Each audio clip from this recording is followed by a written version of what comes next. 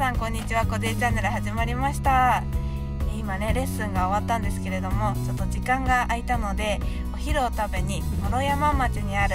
美味しいラーメン屋さんに行ってみたいと思いますついでに諸山といえばあのいちごがとてもとても美味しいいちごの里というところがあるのでそちらにもねデザートを求めに行ってみたいと思いますそれでは。ラーメンといちごを求めて行ってきます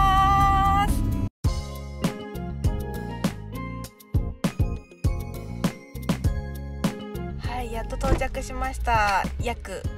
50分くらいかなレッスン場所からかかったんですけど着きました。ここです。楽しみです。味噌ラーメン大好きなのでそれでは食べに行ってきます。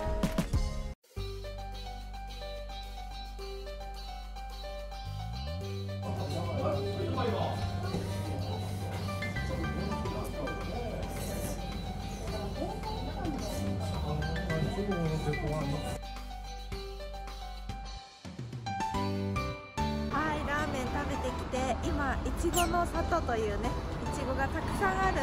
デザートのお店にやってきました。ちょっと雨がねひどいので中に入りたいと思います。